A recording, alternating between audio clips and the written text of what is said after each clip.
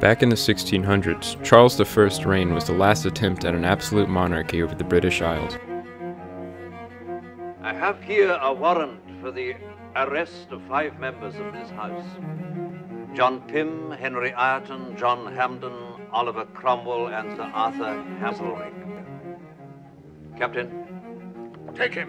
Stand aside. Stand aside. Any action against any member of this House is a breach of privilege.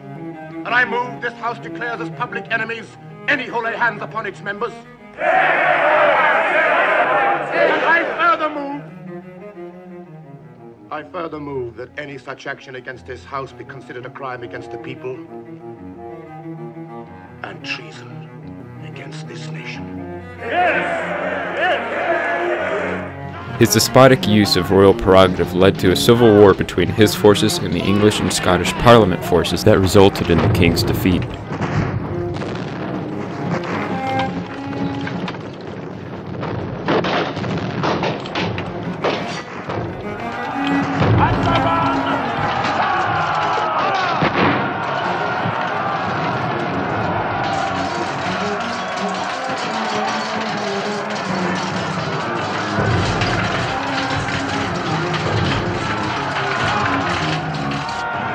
He was tried and executed. Before his downfall, he had many paintings of him and his family chartered by the court painter Anthony van Dyck, one of which was named Charles I in three positions. Created in 1636 for the purpose of being sent to Pope Urban VIII, who commissioned Gian Lorenzo Bernini to create a bust of King Charles I. The focus of this documentary is an unattributed copy of the original that was created in Anthony van Dyck's school.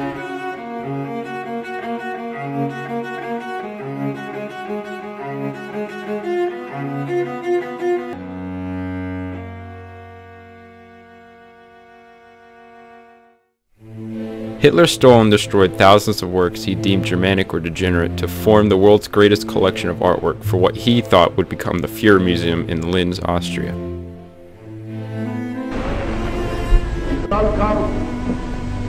der Verfall unserer Kultur, diese Welle von Verpestung unseres ganzen kulturellen Lebens, der Zersetzung unserer Literatur, der Vergiftung unseres Theaters, der Kino, die ganze Kunst, sie werden nun langsam vernarrt.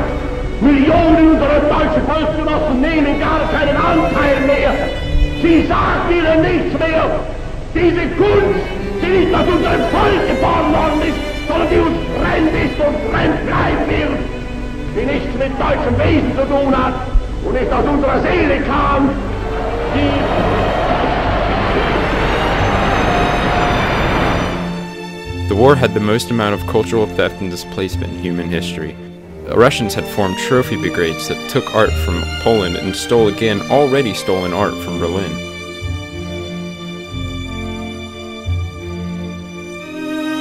The Allies also had their own form of trouble when it came to soldiers stealing from German officers or buying artwork from citizens desperate for money.